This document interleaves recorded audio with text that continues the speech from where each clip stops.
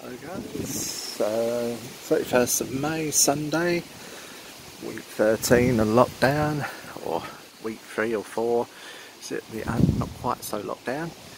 Um, round the circle there's the Scouts and we now travel down into Clayburn Circle.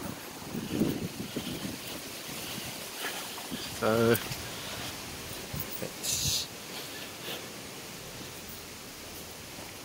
seems like air of normality carrying on now. That's the scout. But in Clayburn Circle, people are still very, very, very cautious about the situation, I think because there's not that many people out for a nice Sunday. Few more people than there was a couple of weeks ago, but so now it's down to